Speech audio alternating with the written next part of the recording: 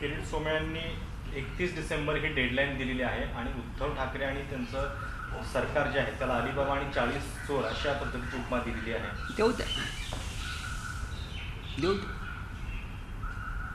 ज्या पद्धतीनं किरीट सोमय्या यांच्यावर कारवाई झाली. आम्ही त्याला ओळखत नाही. ठीक आहे त्यांना बघा की या देशामध्ये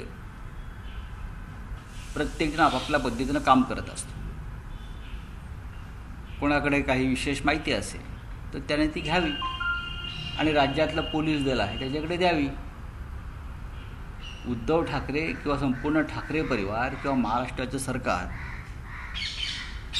हे कायद्याच्या चौकटीत राहून काम करणारं सरकार आहे. आम्हाला नियम कायदे कामाच्या पद्धती माहिती आहे कोणी चिखलफेक किंवा चिखल उडवायचं ठरवलं असेल एक राजकीय द्वेषापोटी. तर तो त्यांचा प्रश्न आहे. अशा गोष्टींकडे दुर्लक्ष केलेलं बरं अशी आमची भूमिका आहे. ठीक आहे ना? आरोप प्रत्यारोप होत असतात. पण तुम्ही कोणत्या स्तरावर जाऊन हे आरोप प्रत्यारोप करताय हे महत्त्वाचं आहे.